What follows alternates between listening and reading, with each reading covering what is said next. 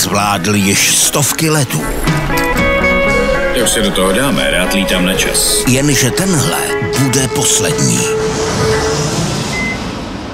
Uvědomujete si, že jste havaroval s letadlem?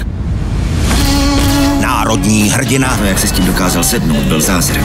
Zachránil si dost lidí. teď toho musí hodně vysvětlovat. Píší, že jste měl v krvi alkohol. Za to může být do životí. Denzel Washington Nebyl jsem ve stavu, kdybych nemohl letět.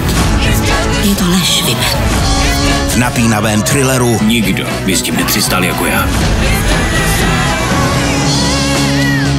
Let. V pátek ve 2015 na Joj Cinema.